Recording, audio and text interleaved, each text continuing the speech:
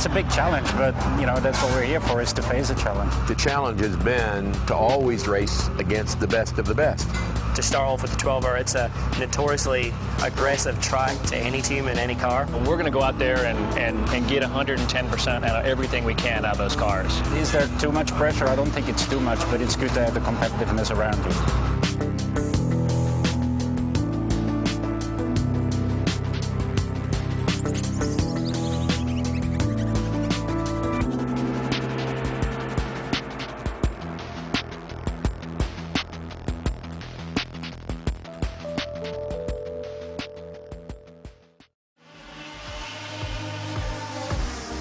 It's a big challenge to start off with, especially with a new car. But the 12 hours of Sebring is very special, and a bit like Jaguar and Racing, Sebring is history also.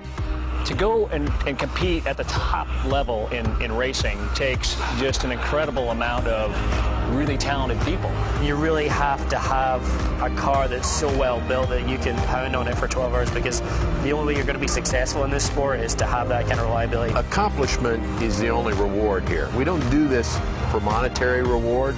We only do it for the sake of building things and winning.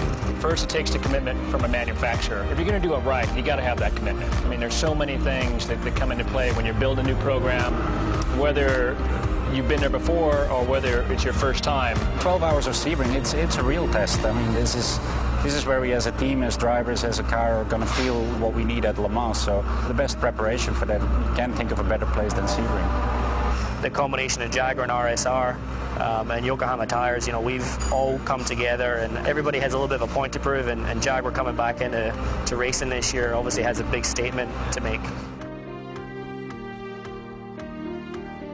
It's been 20 years since Jaguar's gone to Le Mans, and it was time that we go back.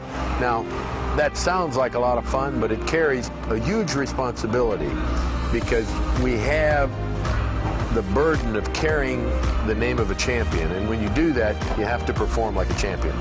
Oh, it's, it's great to be part of this program, uh, especially you know with Jaguar going back to Le Mans uh, to the 24-hour race. I mean, I've been there nine times, so to be back there the tenth time with a manufacturer like Jaguar, it's it's it's an honor. To go back to the biggest race in Europe, I think is unbelievable and phenomenal, and and for me to be a part of it, it's exciting.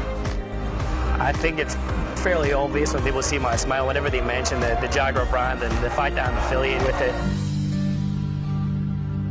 All you have to do as you go into the ACO Tower at Le Mans, you get off on the elevator on the third floor, the wall is covered by all the Le Mans winners.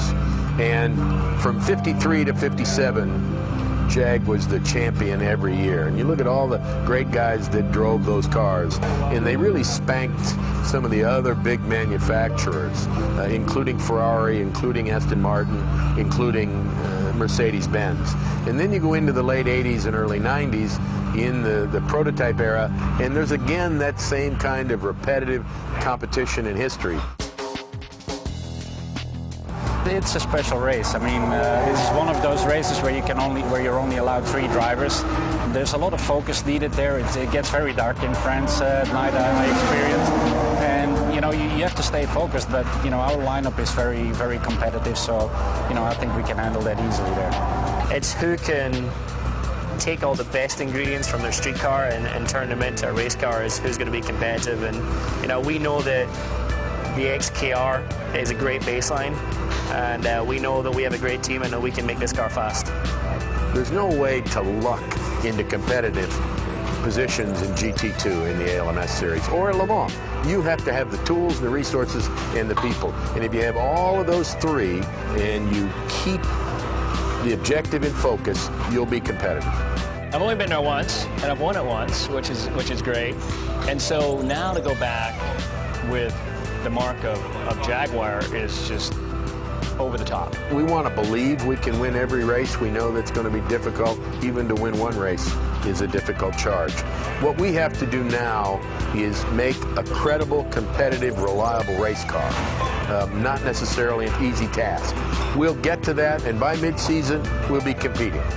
I don't think there's any pressures now to, to win Sebring. You know, it's all a training ground to be as competitive as we can in Le Mans, and uh, we'll see how, how we do the second part of the season.